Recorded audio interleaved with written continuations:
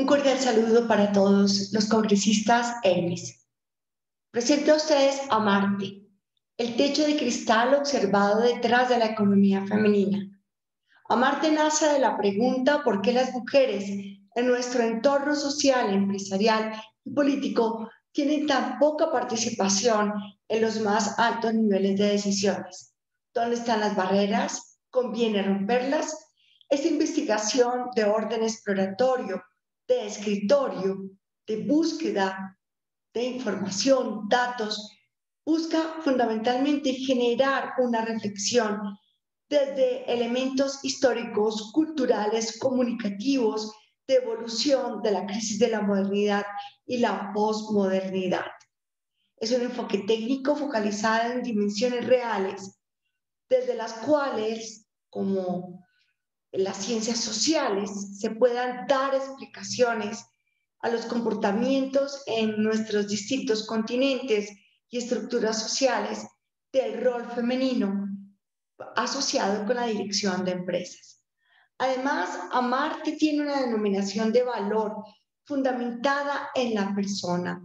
Busca, por supuesto, explicar de una manera clara el por qué la participación femenina tiene obligatoria un desafío tan grande como el que estamos viviendo y experimentando. Voy a compartir con ustedes procedemos.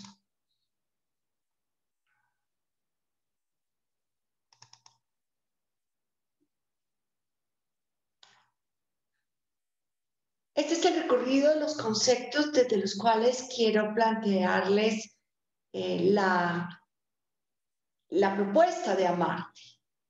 Diferenciar unos conceptos, focalizarlos en techo de cristal, dar un marco, algunas cifras de dimensionamiento y particularmente entrar a comprender lo que significa esta visión de futuro desde la persona y desde el ejercicio del liderazgo. Los conceptos fundamentales desde los cuales se construye eh, la reflexión del techo de cristal vienen de tres enfoques muy importantes. Desde el género, entendido como la comprensión de desigualdad social dada por la diferencia sexual proceso que se reconoce incluso antes de la misma modernidad, pero asociado y tomado simbólicamente para entender y explicar la diferencia actual de la realidad de la mujer en su entorno. Un segundo concepto, el feminismo, considerado una de las más espectaculares innovaciones sociales del siglo XX, como un movimiento político abierto en las puertas de incalculable valor en la vinculación activa de la mujer a la ciencia, al conocimiento, a un estilo de vida diferente a la primera parte del siglo XX. Y finalmente, hacia el año 87 de este siglo XX, se introduce el concepto de techo de cristal, que busca básicamente reconocer que hay un límite en el acceso de las mujeres al más alto nivel de dirección de las organizaciones.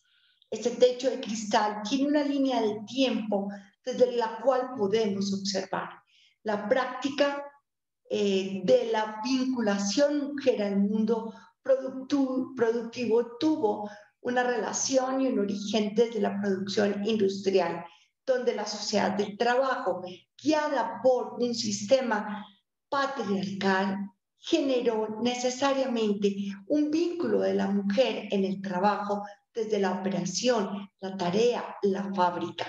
Así se conservó durante muchas décadas cuando en los años 70 se identifican los primeros brotes feministas y posteriormente hacia los 80 hasta prácticamente hoy se encuentra una serie de fenómenos como la vinculación del tema de género a los estudios académicos, la introducción de la investigación relacionada en el año 86 de Morrison, Belser White sobre lo que significa el techo de cristal en la dirección de negocios y en distintos escenarios como la Conferencia Mundial de la Mujer, como la resolución eh, de la ONU sobre el reconocimiento de la mujer como sujeto político, como los ejercicios y la formulación de leyes para garantizar que haya una igualdad salarial entre los ingresos de hombres y mujeres haciendo el mismo trabajo.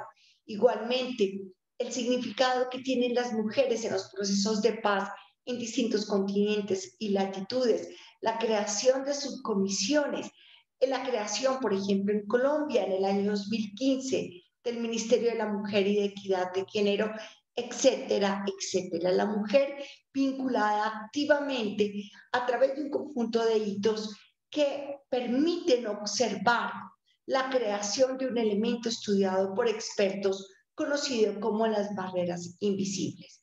Barreras invisibles entendidas como las que provienen desde lo individual, es decir, expectativas, motivaciones, personalidad, lo que la persona construye desde su red social, familiar, de estudio y conocimiento. Un segundo nivel asociado con historia, ideología, políticas que culturalmente genera la producción de estereotipos y modelos de conducta que se adoptan en todas las estructuras y por supuesto por nuestro objeto de estudio, por llamar de alguna manera, el rol de lo femenino. Pasamos después a estructuras Em, institucionales o organizacionales en las cuales alrededor de la mujer se crean expectativas, motivaciones y la búsqueda de un nivel de eficacia y de competitividad que le permita desde el conocimiento poder proyectarse.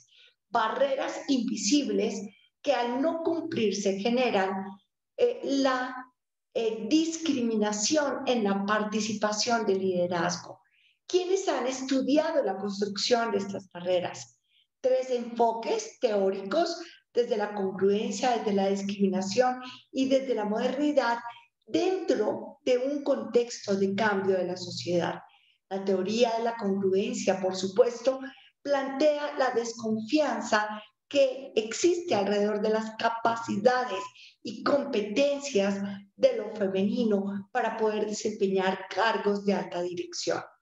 Esto se construye de prejuicios dados los estereotipos de liderazgo aceptados como el modelo del autoritarismo. Una segunda teoría, la de la discriminación, en el año 71 plantea básicamente la caracterización de grupos poblacionales que generan una discriminación como tal, con consecuencias en el salario y en el rol. Imagínense ustedes una mujer de origen afro, con un nivel de escolaridad bajo, adicionalmente en un contexto latino. Oportunidades. La teoría de la discriminación entonces se fundamenta precisamente en este nivel de intolerancias. Contexto importante, la modernidad. Los estudiosos de la modernidad muestran cómo algunos de sus rasgos tienen que ver con este asunto. La división sexual del trabajo, la diferencia de la esfera pública y privada y el desarrollo de las grandes ciudades, nuevas naciones que implican, por supuesto, nuevos roles de los sujetos, entendiéndose sujetos como el genérico del ser humano.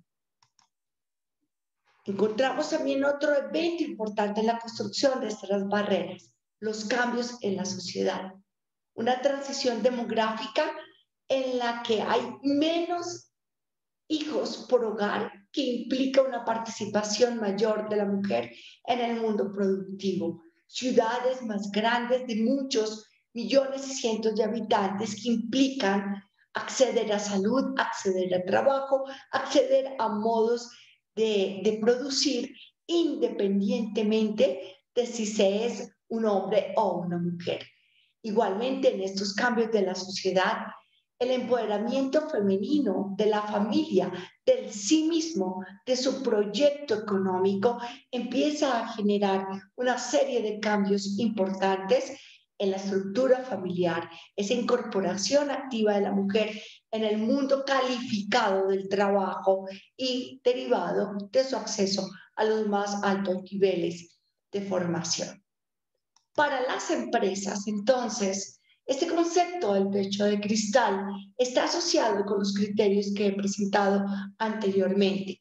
Discriminación, la asignación clásica de roles de género, que es lo que se entiende como lo que puede hacer o no una mujer, cuáles son los procesos y los desafíos que derivados de la ruptura del techo de cristal se generan como valor a las organizaciones.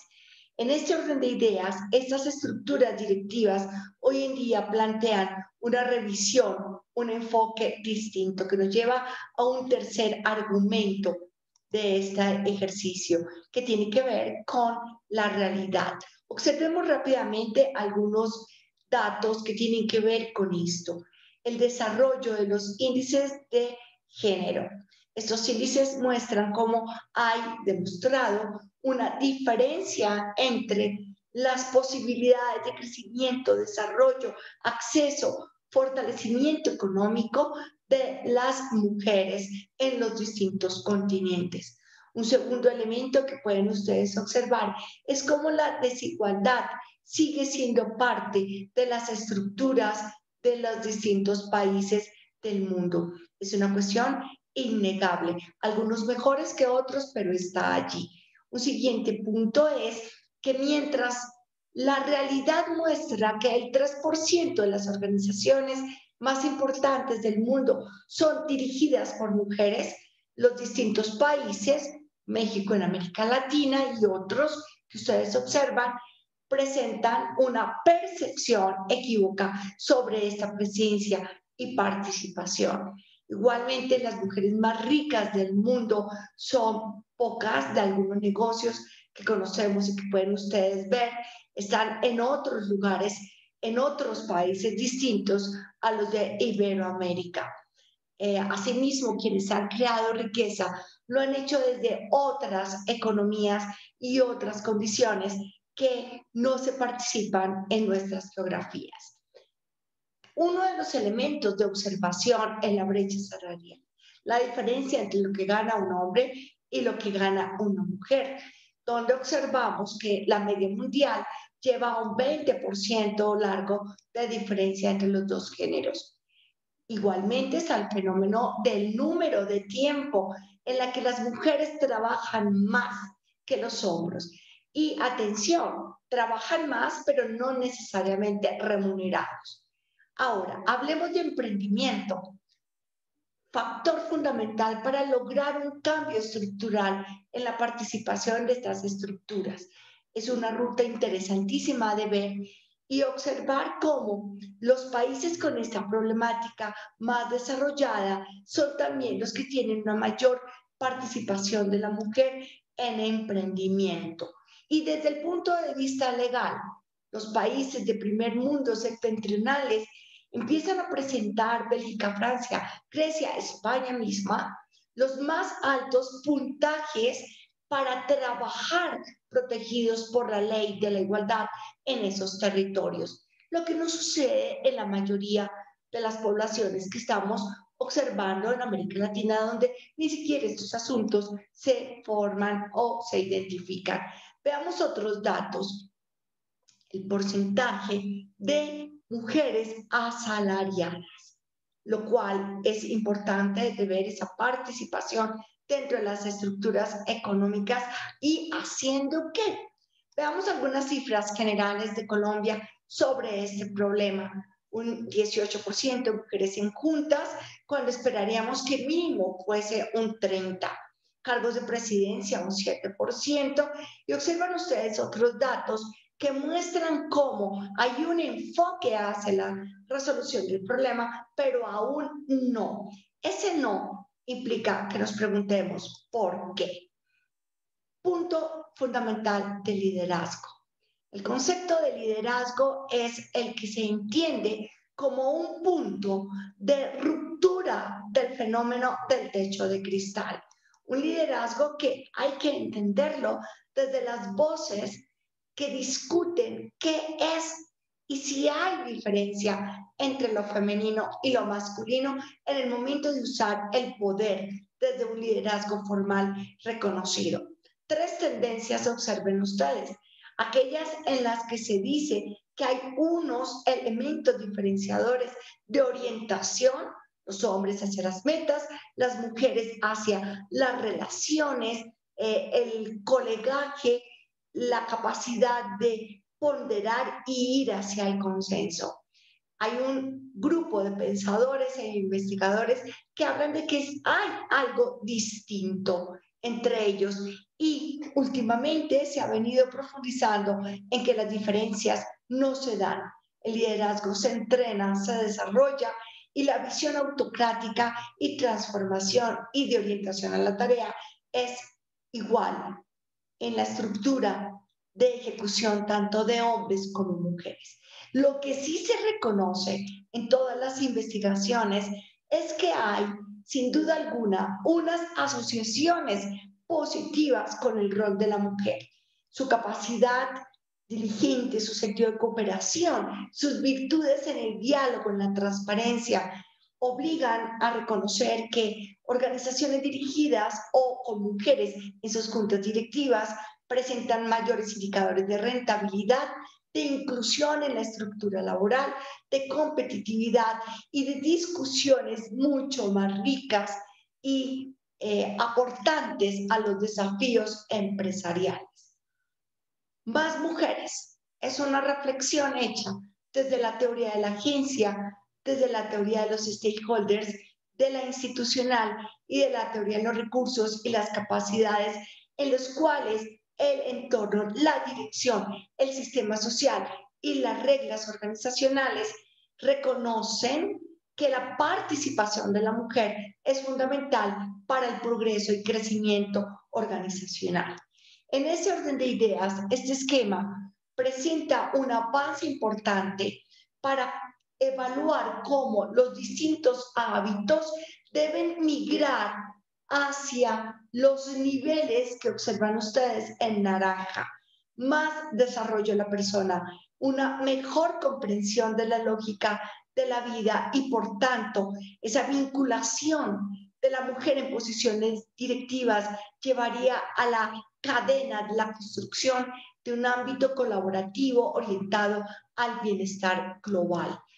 El concepto de crisis de los cuidados es esencialmente el gap que se va a dar entre quién cuida a quién, quién cuida a los hijos, a los mayores, quién cuida a las empresas, quién cuida a las organizaciones, los grupos de trabajos, etcétera. A eso se refiere la importancia de hacer una equidad en este modelo de liderazgo que estoy planteando. Brevemente introduzco el enfoque de la fundamentación del asunto. Tú, ella, la esencia. Las discusiones alrededor de este asunto involucran una posición personal ante la vida que responda a tres preguntas sustanciales tomadas de la voz de Vichin Lakiani. ¿Qué experiencias? ¿Qué puedo ofrecer como ser humano? ¿Y cómo puedo contribuir? Estas reflexiones alrededor de lo instantáneo, el aquí y el ahora, el despertar y la búsqueda de propósito se consideran fundamentales en el trabajo de la persona para dar desde la posición de liderazgo y de dirección un salto cualitativo en las eh, anteriores variables que he presentado. Y visión de futuro. Este concepto de visión de futuro que acompaña las nuevas generaciones muestra claramente cómo el conjunto de variables de alternativas están rodeadas alrededor del equilibrio de la vida familiar en cuanto a roles, programas, redes de apoyo. A nivel social, alternativas relacionadas con lo político, la orientación, el enfoque, los proyectos de vida factibles. A nivel personal e íntimo, el yo, la intimidad, el marco ético de los individuos, las organizaciones, por supuesto, y obligatoriamente el proyecto profesional que se reconozca, que se comunique, que genere un tejido laboral adecuado. Este es el mensaje que he querido compartir, donde básicamente el enfoque busca crear la discusión apoyada con la investigación que se ha desarrollado desde distintas latitudes en esta primera y rápida aproximación. Muchísimas gracias y espero que sigan estando muy bien en su reunión.